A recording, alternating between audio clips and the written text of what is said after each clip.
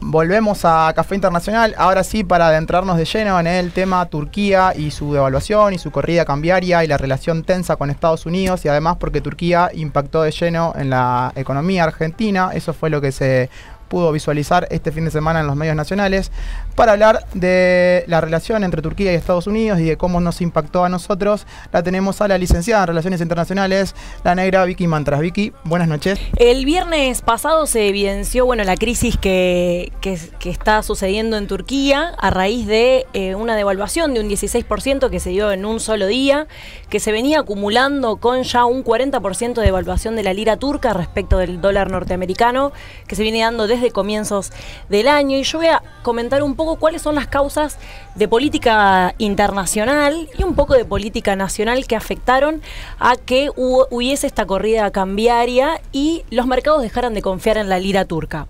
Esto eh, repercutió sobre todo por un Twitter del presidente norteamericano Donald Trump, que eh, publicó en su red social que iba a duplicar los aranceles de importación al aluminio y al acero proveniente de Turquía para que perdiera competitividad en el mercado norteamericano. Esto aceleró eh, la crisis económica y repercutió, como bien decías Pablo, en diferentes economías emergentes, entre las cuales se incluye la Argentina, Sudáfrica, México también están entre ellos, pero esto lo vamos a dejar para que el economista invitado Esteban Guida nos lo explique con eh, mayor profundidad. Básicamente, en lo que pronuncia Donald Trump en su Twitter es que Turquía y Estados Unidos no se encontraban en una buena relación política. Esto tiene que ver con dos cuestiones fundamentales. En el diario New York Times del día viernes, el presidente Erdogan publica una nota de opinión en la cual considera que uno de los motivos principales por los cuales el vínculo entre Estados Unidos y Turquía se empieza a eh, romper paulatinamente se, se, retrotraen al golpe o el intento de golpe de Estado que se dio en julio del año 2016. Allí eh, diferentes eh, células consideradas terroristas por el gobierno turco perpetraron una serie de ataques entre los cuales asesinaron al manager de campaña del presidente Erdogan y a su hijo también. Esta célula considerada terrorista por el gobierno turco tiene sede principal en el estado de Pensilvania, en Estados Unidos, y el líder de esta organización, Fethullah Gulen, aún hoy en día se encuentra en territorio norteamericano. El Estado turco intentó llevar adelante un acuerdo eh, para pedir la extradición de Fethullah Gulen para que sea juzgado ante la justicia y ante los tribunales turcos. Esto el gobierno de Estados Unidos no le ha dado lugar, lo cual generó una represalia de parte del gobierno turco que puso en prisión a un eh, pastor evangélico norteamericano que hace 20 años que vive en Turquía de, nombre y apellido Andrew Brunson. Este pastor, que también se entiende que es un espía norteamericano. De eso eh, se lo acusa. se lo acusa de ser un espía norteamericano. No es que el gobierno de los Estados Unidos quiere que un pastor evangélico salga en libertad, sino que él cumple necesariamente otra función.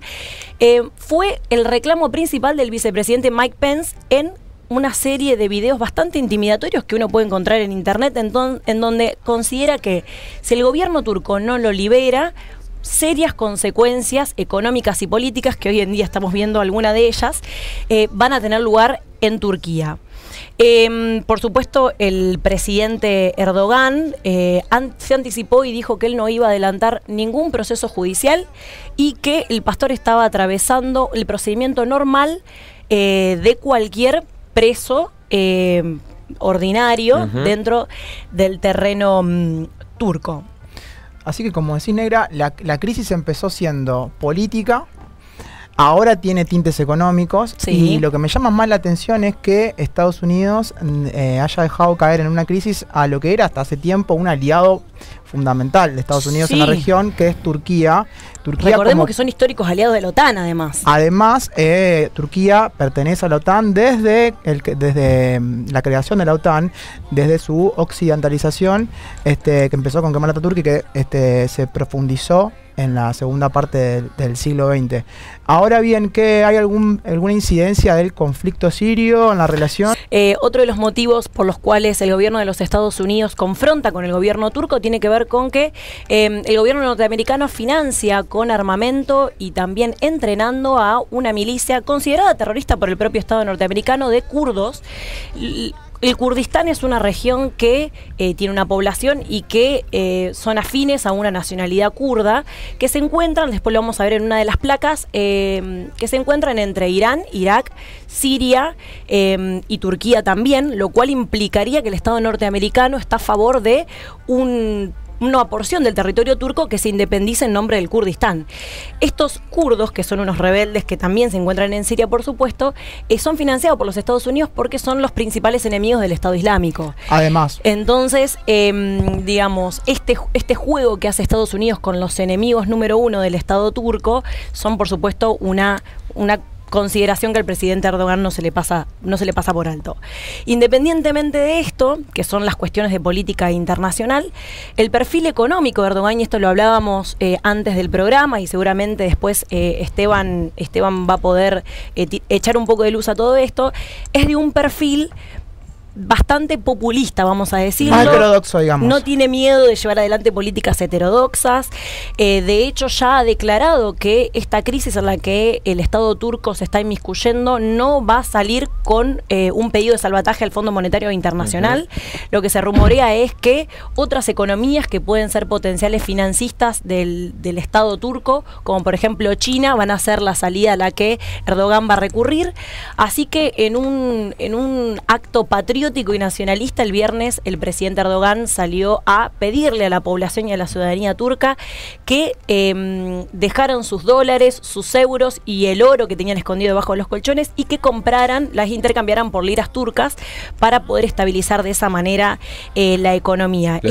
perdón, Negra, lo declaró como una guerra económica hacia Turquía. Exactamente, una guerra económica. Por eso ese, llamado patriótico a la población. Y una de las posibilidades que vos citás, Negra, con eh, respecto a que Turquía pueda verse financiada por China, por Rusia e inclusive por algún otro estado que no es muy afín a Estados Unidos, se lo permite un momento del sistema mundial donde se está desarrollando, hace tiempo ya se está librando, una guerra comercial entre Estados Unidos y China y que todo el mundo habla de una especie de una vuelta a la bipolaridad eh, propia de la segunda parte del siglo XX, pero obviamente no una guerra fría.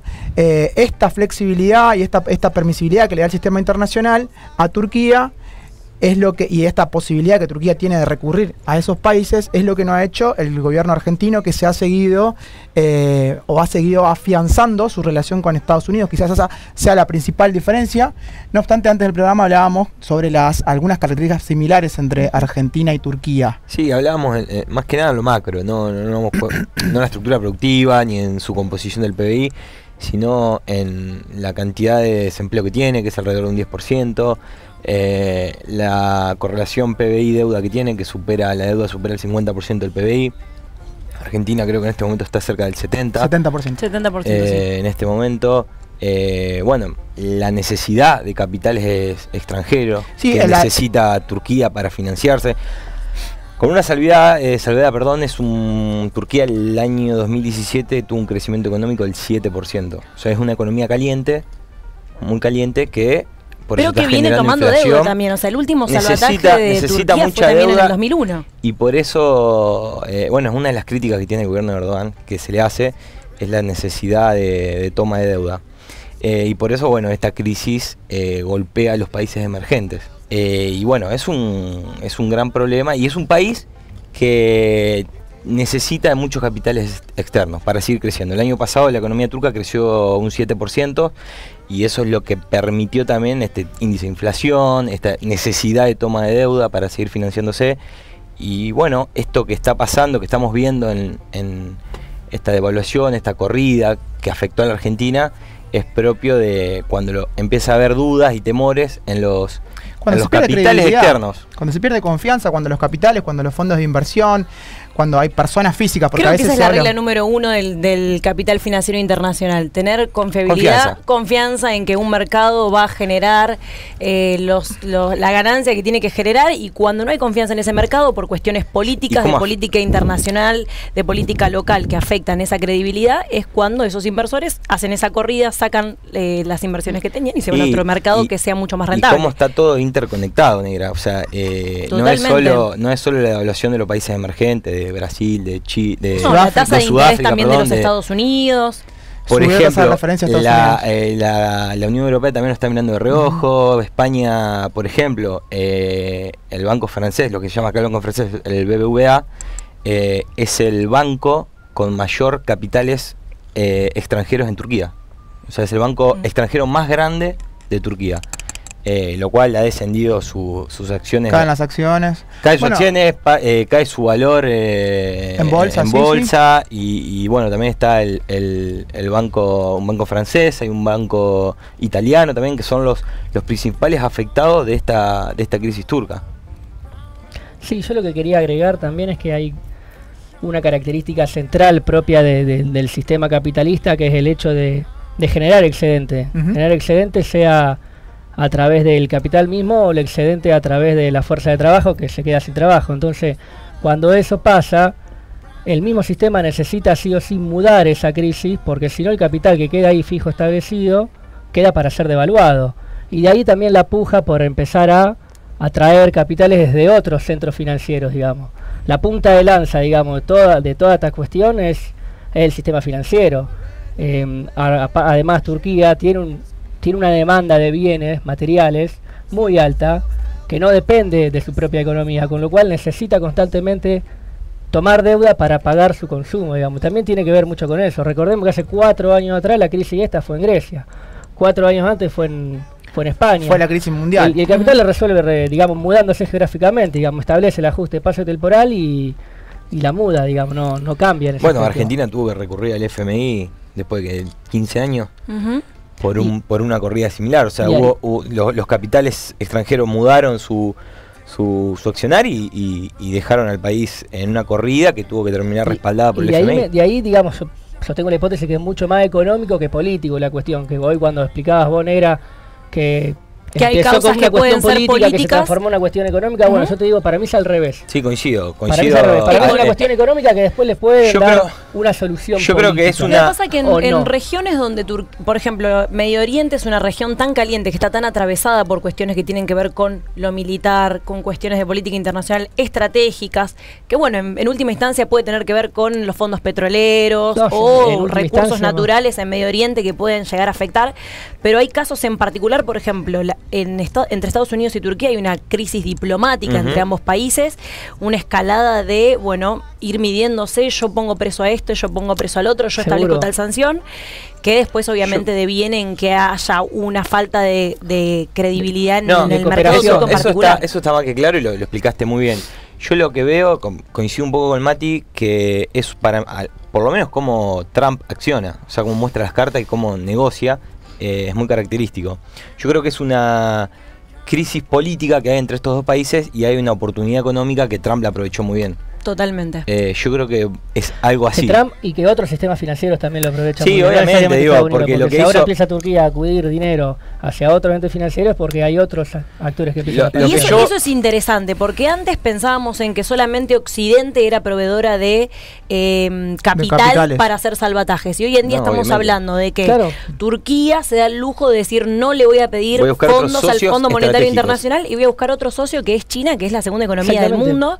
Y también tiene un acuerdo muy importante hecho con Rusia, en el que en pos de esta crisis... Que con Rusia también se, se, se se, un poco. se- con- se miden, Sí. se van midiendo, pero también se van acompañando. eh, y que todas las transacciones de comercio internacional que se hacían en dólares entre ambas naciones se van a hacer en, mo- en moneda nacional. Hay que, ver, hay que ver, hay que ver qué, qué, qué veracidad tiene eso después y cómo se puede aplicar. Son países grandes, son países fuertes, pero bueno, hay que ver siempre que se quiso sortear el dólar.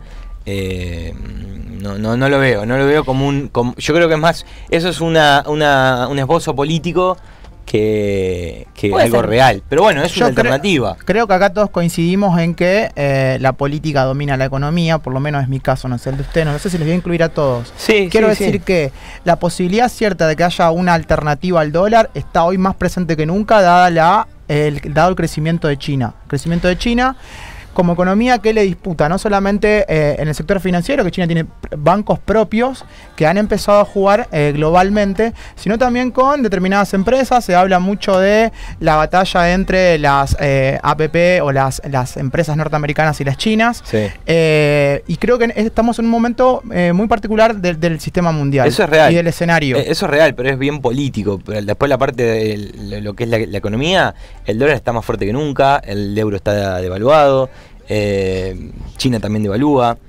Entonces tenemos una potencia norteamericana que realmente está trabajando independientemente de la figura de Trump que al principio creo que no nos caía bien a nadie. La agenda, la agenda económica Trump. Totalmente. Y, pone a Estados Unidos en primer lugar, digamos. esto de que hacer América grande de vuelta es literal. Es eh, volver a apoyar al ciudadano medio norteamericano que trabajaba en una industria que se rompe con el Tratado eh, de Libre Comercio del Norte, el NAFTA o como, le, o le querramos llamar, pero empieza a tomar las riendas de una política en donde el eje es lo que sucede al interior del país. Totalmente. Y bueno, y bueno basta de, cuando decía, sí, lo, que pasa es que siendo, siendo vos la principal potencia mundial, lo que vos hagas al interior de tu propio país, obviamente que repercute a nivel mundial y ahí tiene que ver con cómo se lidera el mundo. Por eso yo digo, Estamos en un momento muy particular del sistema mundial donde el ascenso de China se pronostica o se proyecta que dentro de 25 o 30 años va a ser la primera economía del mundo y China ya juega políticamente. Para cerrar, estaba pensando eh, con respecto a cómo juegan los fondos golondrinas en el mundo, lo que decía Mati, cómo el capital va mudando eh, la plaza física de crisis. También hay que pensar que hay países que toman medidas para defenderse, diques defensivos para, para impedir ese tipo de cuestiones. Argentina, y ahora lo vamos a hablar con Esteban, Argentina ha hecho todo lo contrario. Si vos regulás la, cuenta de capital, si liberalizás la cuenta de capital, o sea, los capitales entran y se van cuando quieren y como quieren y se llevan lo que quieren. Eso no pasaba en el anterior gobierno. Si vos liberalizás y regularizás la tasa, el tipo de cambio. Si además no administras más el comercio exterior.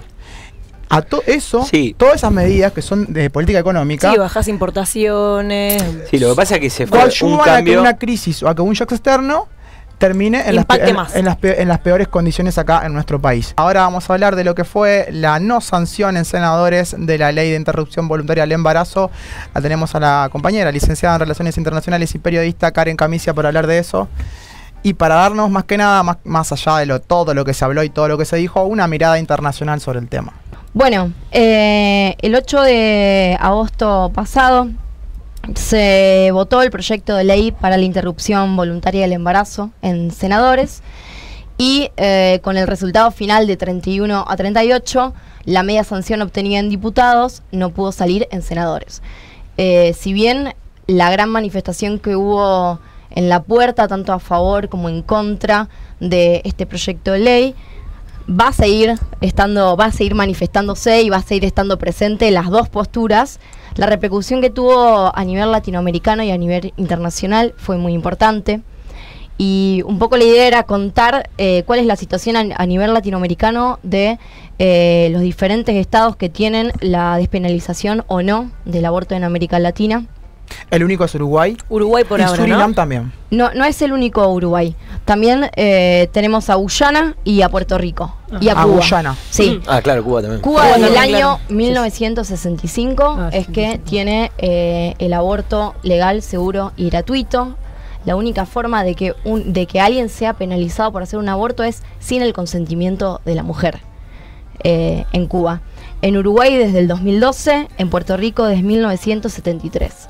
O sea que esos cuatro países son los que en América Latina no tienen ningún tipo de restricción contra el aborto. Después hay una serie de gradaciones, acá en, el mapa que, estamos mostrando se, va a ver bien, una serie de colores que identifican cuáles son las restricciones que algunos tienen, algunas son absolutas, algunas son relativas y en las, en las restricciones relativas Argentina está ahí, la mayoría de los países, está Brasil, está Perú, está Ecuador, Venezuela y entre las opciones que tiene una mujer para hacerse un aborto y no ser penalizada son haber sido violada, en muchos casos, no en todos, eh, o estar eh, en riesgo de muerte, tanto la mujer como el feto. Digamos, esas son las posibilidades que existen en algunos de los países de América Latina. Sin embargo, hay otros países como El Salvador, Haití, Honduras, Nicaragua y República Dominicana que está absolutamente prohibido el aborto, está penado para la mujer, por ejemplo, en Honduras y en República Dominicana, con 10 años de prisión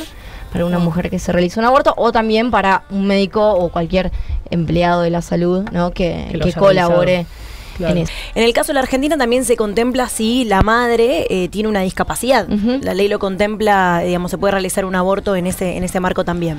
Sí, bueno, y, en este contexto, ¿no? Lamentablemente, eh, ayer eh, salió la noticia de una joven, eh, Liz, una joven del conurbano de Buenos Aires, que murió tras estar internada desde el domingo pasado eh, en, un, en un hospital de, la provincia de Buenos Aires por haberse realizado un aborto, clandestino, dejando a dos niños y muriendo con 24 años después de la no salida de la sanción de, de este proyecto de ley. Bueno, eh, más allá de este resultado que tuvimos en Argentina, la marea verde, como se llama ahora de mujeres, como estamos viendo acá en las fotos, llegó a muchos países del mundo. Y no solo que llegó a través de, manifestaciones en, eh, en apoyo y en pedido a los senadores argentinos, sino que también repercutió en los movimientos de mujeres de distintos países del mundo incentivando la creación de sus propios proyectos de despenalización del aborto. Por ejemplo, en Brasil, eh, en el año 2016, antes de, ¿no? de, que pase esto acá en Argentina, el, no sé si se acuerdan, un tal Cuña. Eduardo Cuña muy nombrado en el. Gordo Cuña le decimos así? Bueno, Eduardo, Eduardo. Ah, ex, presidente de la Cámara de Diputados.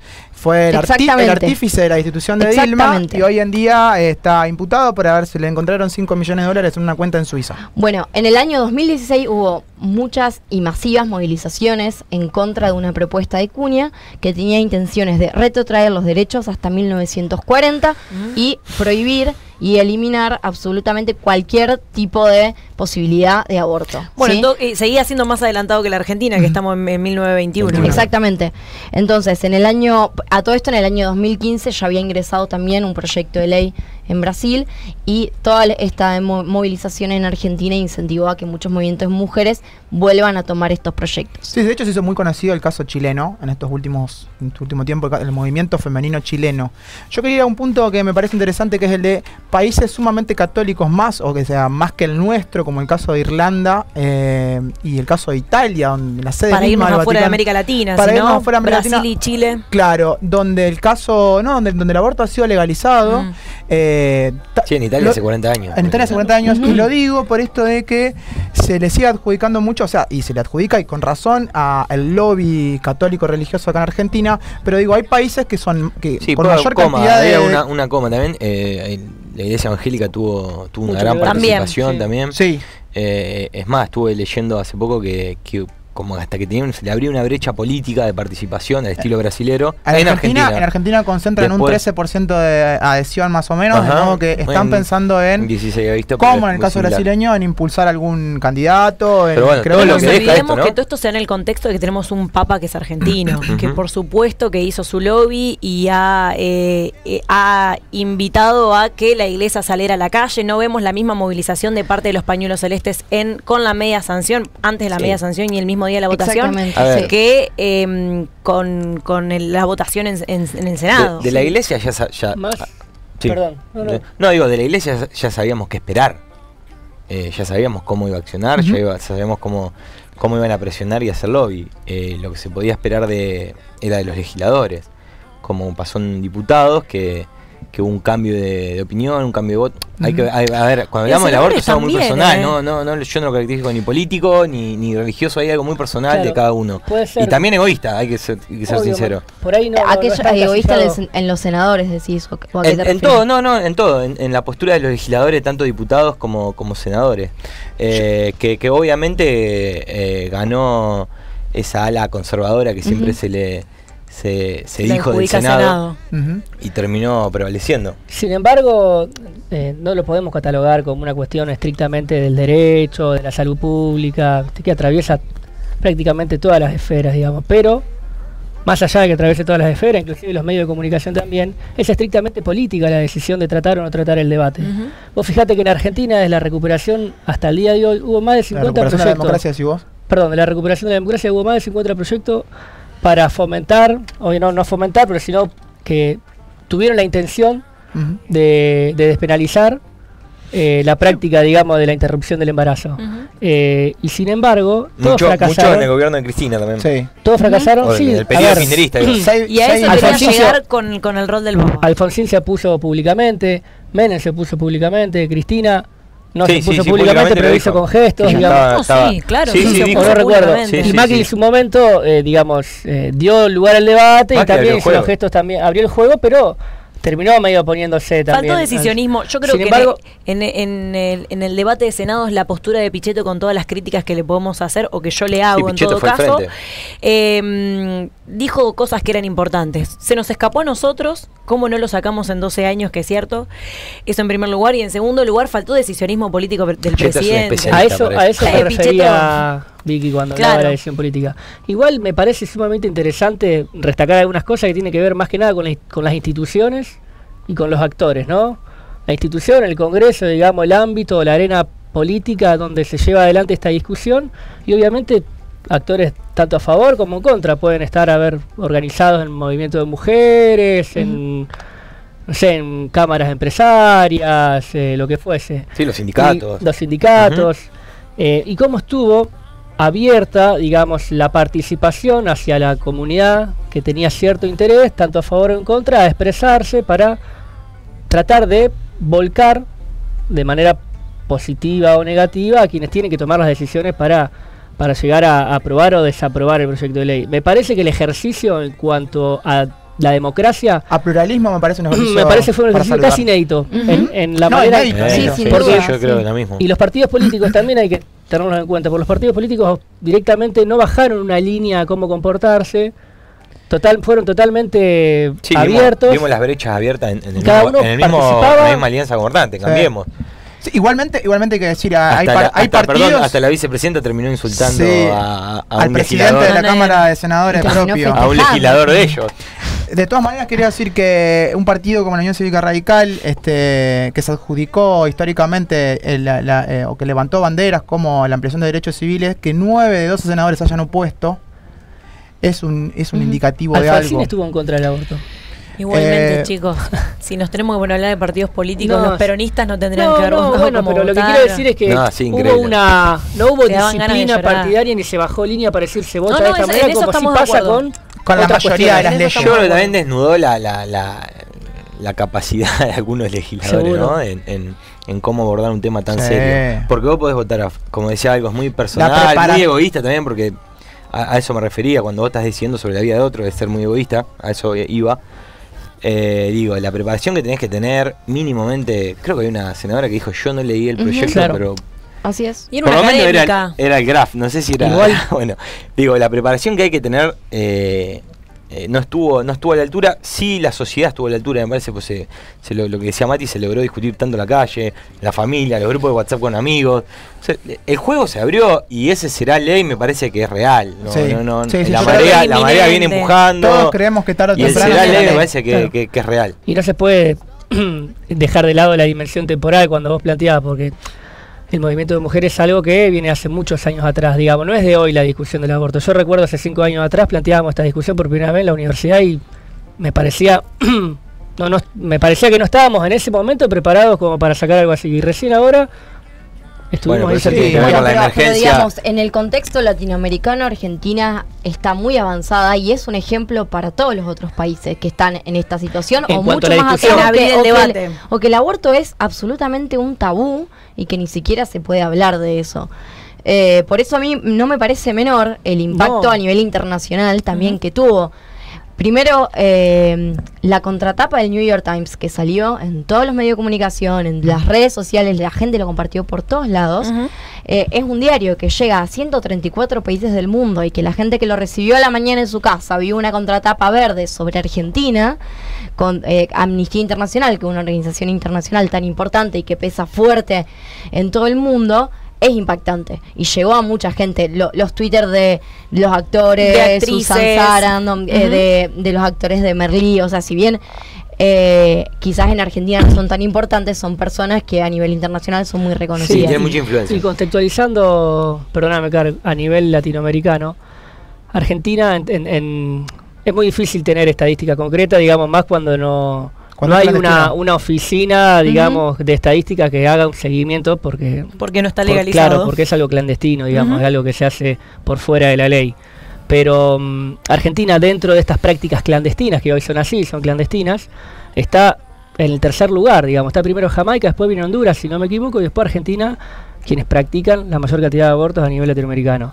Y hay un dato muy interesante que de un estudio que se hizo en el año 2015 en la Universidad Nacional de La Plata, comentaba que en América Latina se realizan un millón de abortos, obviamente clandestinos, por año, y tienen la tasa de mortalidad materna más alta que es del 13%. Mm. Estamos hablando de 47.000. La mitad más o menos Ese es un estudio más o menos serio de lo que pude encontrar, digamos, que está avalado obviamente por, por el Ministerio de Educación. Hay algunas cuestiones interesantes a mí me parece en el debate. Eh, yo creo que el movimiento feminista nos enseñó a todos porque además en un momento de mucha individualización de la política, de mucha atomización, el movimiento generó justamente un colectivo, una lógica más comunitaria, digamos. Eh, me parece que la idea de que es un problema de salud pública, de sacar, de dejar las creencias en el foro interno, eh, me parece que en, ese, en, ese, caso es una, es una discusión para dar en ese ámbito, pero que no obstante terminó ganando aquella, aquella retórica de la vida o la muerte y que se haya eh, aprovechado de la noción de vida eh, el colectivo que reunía a, Salvemos las dos vidas, vamos al, me parece que es una batalla cultural que el movimiento feminista perdió en ese sentido. Sí, pero también que se corrió, eh, yo creo que el punto de debate a eh, aborto sí, aborto no, o salvemos una vida, salvemos dos vidas, cuando en, realidad el punto, de, claro, el punto de debate todos sabemos que no es. fue muy inteligente, o sea, en lo, comunicacional, decir yo salvo la vida es, muy fuerte, es movilizador, o sea, fue muy inteligente en la manera de comunicarlo. Adjudicarle la muerte al otro. Exactamente, y que del otro lado de la noción de es mucho más difícil para el movimiento feminista decir, che, eh, nosotros salvamos a la, salvamos a la madre del aborto clandestino y todas las consecuencias que trae, hasta la, propia muerte, eh, porque es lo que decía, la cantidad de internados que hay o, secuelas graves que le quedan a las mujeres. Eh, bueno, es mucho más difícil de discutir desde ese lado de la posición. Bueno, un poco para, para cerrar, quería mostrarles cuál fue la repercusión en los diarios más importantes del mundo o los más importantes del mundo. Bueno, las imágenes que estamos viendo acá son de eh, apoyo que se hizo previo a la al debate eh, en senadores, previo a la votación. Japón, Corea, en Lima, Bruselas, Londres, Quito, Sydney, Tel Aviv, España, Brasil, Suiza, Holanda, Nueva York, Acá hay algunas imágenes de, creo que se ve eh, el, muro, el, arco de Brandenburgo en Berlín, de Harvard también. Eh, bueno, o sea, eso fue en, las manifestaciones en las calles. Después, en cuanto a los diarios, por ejemplo, el, diario El País, para a, mi entender, fue uno de los diarios que puso un titular muy impactante eh, y que con uno con un titular dice mucho, ¿no? El diario El País eh, tituló El Senado dice no al aborto y deja al país con una ley de 1921. Digamos, no, no fue sutil con el título. sino que eh, da cuenta de, digamos, el stand-by que dio Argentina y de, de, los 97 años casi que hay en, el medio de, la ley que se está dejando ahora eh, en vigencia. Después el diario El Mundo tituló el Senado argentino entierra el sueño del aborto libre y, gratuito. Digamos, estos dos diarios eh, españoles fueron bastante contundentes. Igual los demás diarios también, no tanto los diarios de Brasil, por ejemplo, el diario O Globo o la Folia de San Pablo fueron un poco más tenues con sus titulares.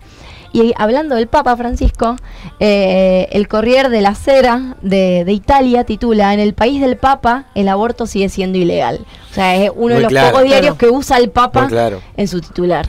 Y hay un titular que hablábamos antes eh, del programa, que es que, eh, no sé si de Guardian o de Sun en, en Inglaterra, usó la noción de que en Argentina había ganado el anti-choice. Me parece que lo, hablábamos antes, la, noción de decir hay gente que está a favor de la elección, de la libre, de la libertad del, cuerpo de la mujer y gente que está en contra de eso. Me parece que es un, concepto que podría apropiarse hablando de lo que hablábamos recién del movimiento feminista y de los conceptos y de la comunicación y de cómo fue la, elección.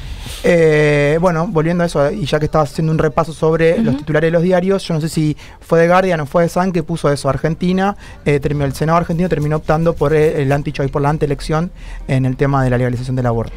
Bueno, yo creo que para mí este tema va a seguir, o sea, vamos a tener que esperar al menos hasta el año que viene para que se vuelva a poder llevar un proyecto. Eh, otra vez eh, a las cámaras, que se discuta, pero creo que este tipo de movimientos son irrefrenables, la sociedad creo que, cada vez más personas están sumando al movimiento, eso también es muy importante y, y en estos últimos años también es impactante el número de países que empezaron a despenalizar el, aborto. Eh, tengo acá los números más certeros.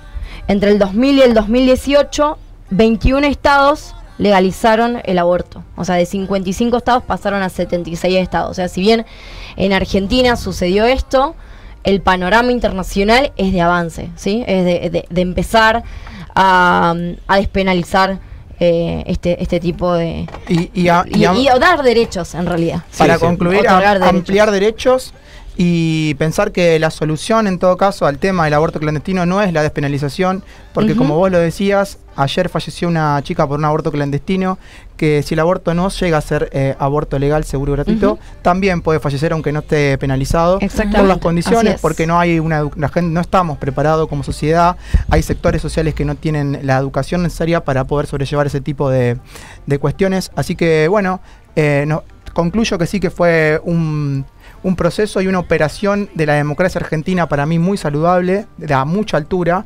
Lamentablemente algunos oradores en el Senado, algunos senadores dieron pena, dieron pena en términos de la capacidad, ¿no? Para articular un, buen discurso y pena en el, en la manera de pensar, porque como, como decía Mati, hay que dejar un poco la creencia de lado y pensar un poco en, una cuestión más amplia, una cuestión de salud pública.